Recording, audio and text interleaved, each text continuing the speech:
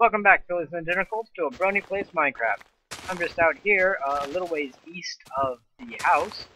Actually, a little, a, a lot ways. And I came to show you guys something.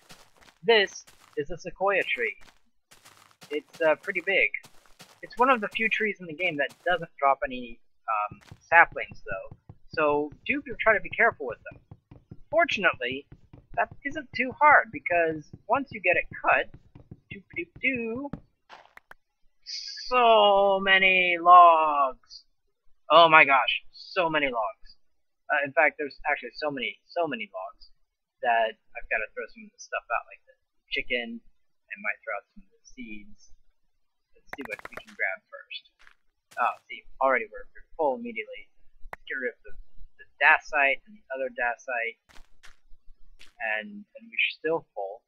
Get rid of the onions, because, you know, they're just onions and the wild oats. And ah, gosh, one. Okay, there we go. That's a that's a pretty hefty load, and uh, we're gonna take that back with us because we can't. there's No way we can carry another one. We're gonna take that back with us, and through the magic video editing, it's not gonna take any time at all. Well, for you. You can think of it as like you guys are gonna be moving the speed of light, and I have to be stuck being all like, I'm on the speed of the not light. So, I'll see you back there in a bit so we can get our charcoal thing started. Cheerio! Oh, morning everyone. We're back. Here we are back at the house. We've got all that sequoia stocked up, and um, we're ready to make us a charcoal pile, except that we actually already have one ready to go right here. We'll just dig up some of this one, and I'll show you guys what, uh, how I ah, get. I'll show you guys how I go about making these charcoal piles. As uh, one of you pointed out, at least one of you. Oh, nice and buggy. Hmm. Hold on, let's attack from the sides. Nope, still bugging. Give us a moment here. Right, there we go. Problem solved. Looks like the uh, iron shovel was not recognized by Terra Firmacraft as being a legit shovel. Which, I guess to be fair, it wasn't, really. So let's just uh, pick up this charcoal. I went ahead and deposited all my sequoia planks, well, logs in the back of the house. We can pick those up anytime.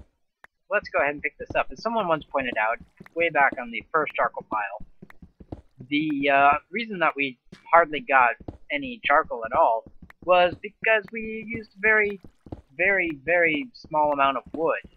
And that gave us a, like a single layer of charcoal. This time, what I had done here is I had stacked everything completely full, which, or almost completely full. And that took quite a while. But, you know, it worked. And actually, we've got enough wood here that once that runs out, we can have a second charcoal stack going pretty well. So, what we're going to do is, uh, I should actually get some more, but we'll start working on this right now. First, we're going to grab this native copper. We need my molds. Get rid of this. I'll go ahead and grab this cassiterite and the nugget as well. And that hole of unshaped tin. And let's get let's get cracking. Right. I'm gonna go with the tin first. Well, no, it looks like there's something in there already. What's in there? Uh, it doesn't say. But my guess is copper. So let's put the tiny bits of copper in first. Uh, native copper nuggets.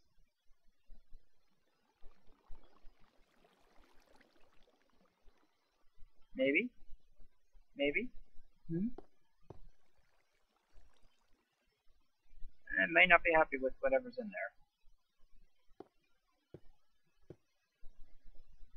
We might have to break it open. Let's find out. Uh, hmm. Well, let's go ahead and put that up. It's a little odd because there isn't anything there, but...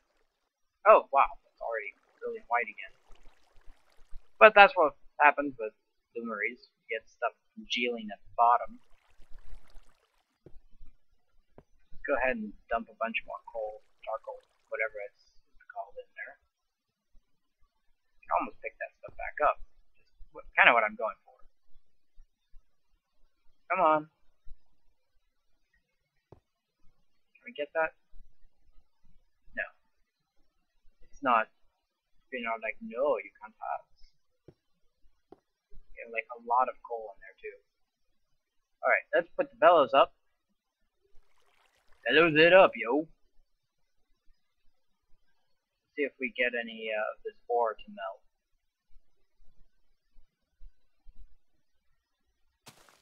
Might, might not.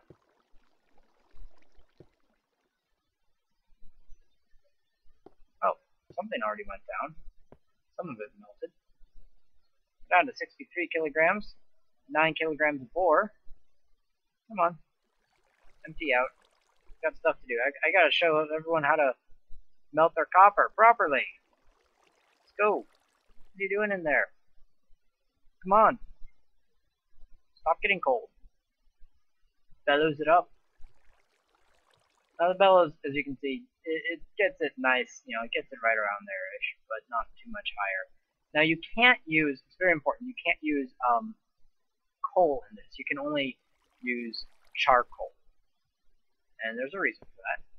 The reason is that coal, like actual mineable coal and stuff, contains all sorts of um, sulfuric impurities. There we go.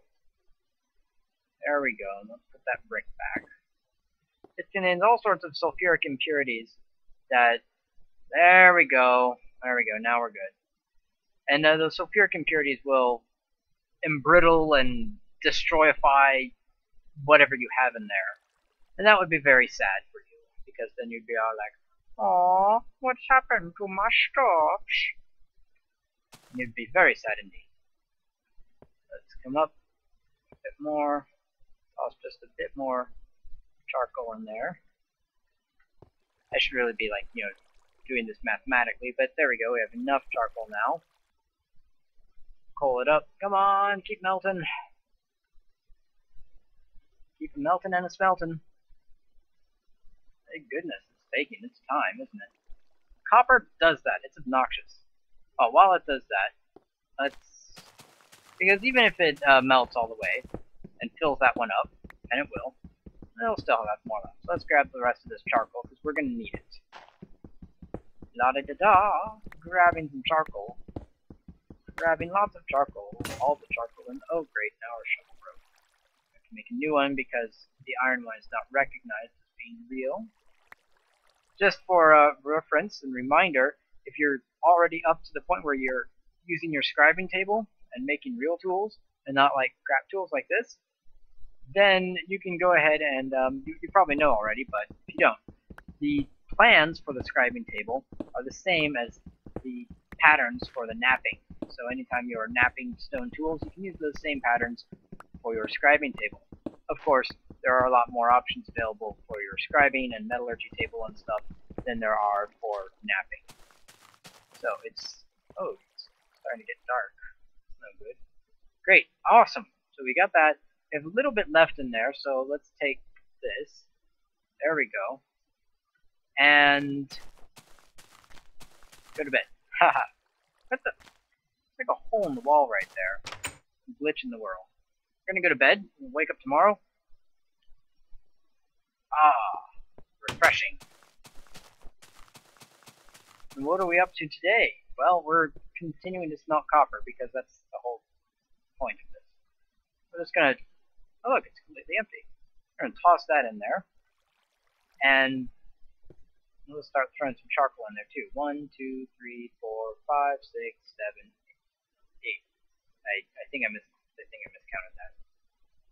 Okay, so we have an equal amount of ore and coal. And normally when we put in like that's a full stack. So when we put in a full stack of the other stuff, we get one with a little bit extra. And here we're expecting double that.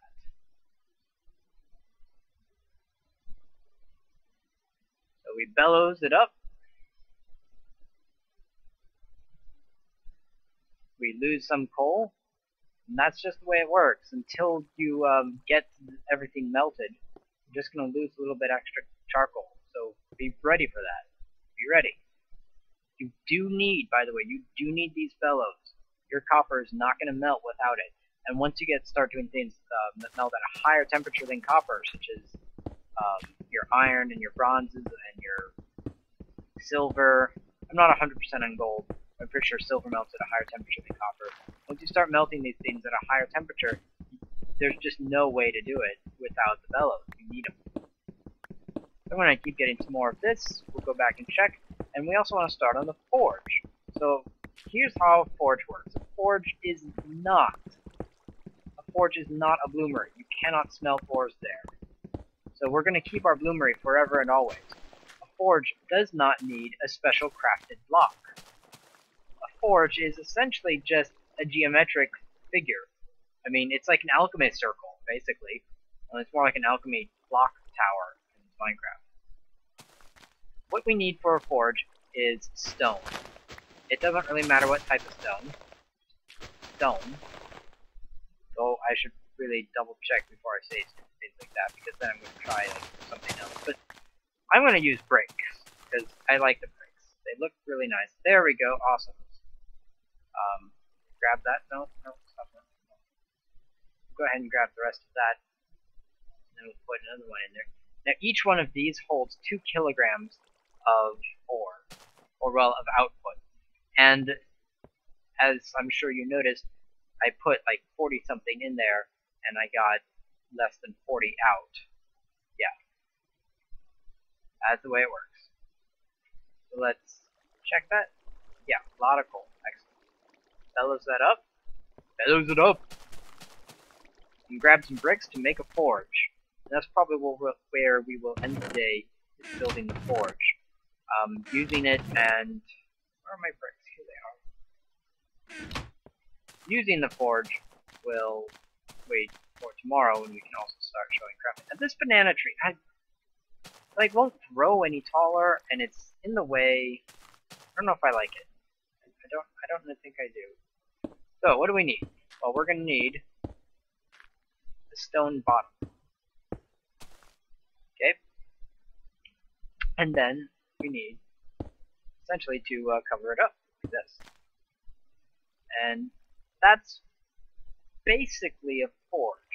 We want to get really, if we want to do this really well, what we do is we'll jump up one, dig down one, and then, oh, better dig this too. I don't reach the bottom.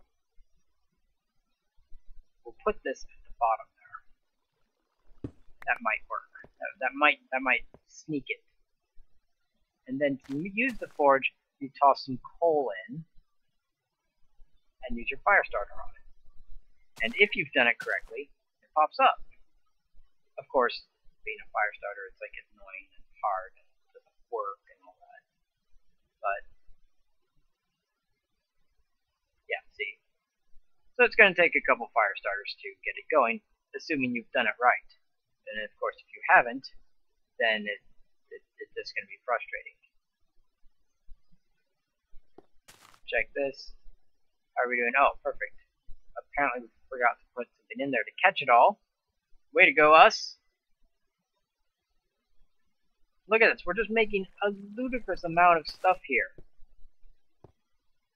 just ridiculous compared to how much. Think about this. Compared to how much or how long it took us to get even one ingot together by finding rocks on the ground, and now we're just like, oh yeah, ingots. Yeah, I got like five of them. You want some? And and there's still more left. We we didn't take all of it. There's still more left. It, it's ridiculous. I'm moving this up a little bit so we can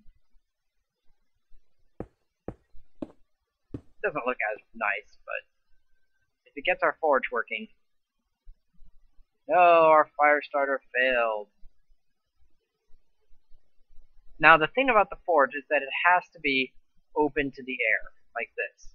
You can't have a forge that's like blocked off. You can't have a forge inside. It's gotta be open to the air. Alright, there we go. Turns out it takes nine. There we go. It takes nine to get it going. But here's our forge. Um, now, like I, was about to say, it's it has to be it has to have a hole that goes to the sky. That that it has to be open to the air. If it's not open to the air, then your forge is not going to work.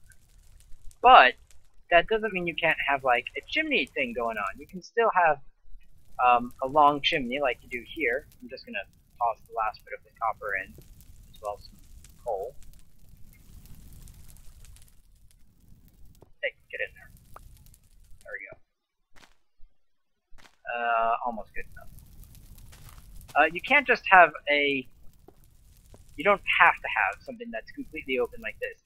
Some of the designs on the wiki, at least, show forges that have really nifty little. Um, they've, got, really nifty like chimney effects going on, where it actually has um, a bend in it and it comes straight up, and that way rain won't put it out. Whereas here, rain will. Also, you can put like let's say you want to walk over it, you can put a trap door on it, and it considers that to be air. So this is what the forge screen looks like. You can use it to warm this stuff back up. Like let's say I wanted to melt it down. Some of it I probably do actually want to work.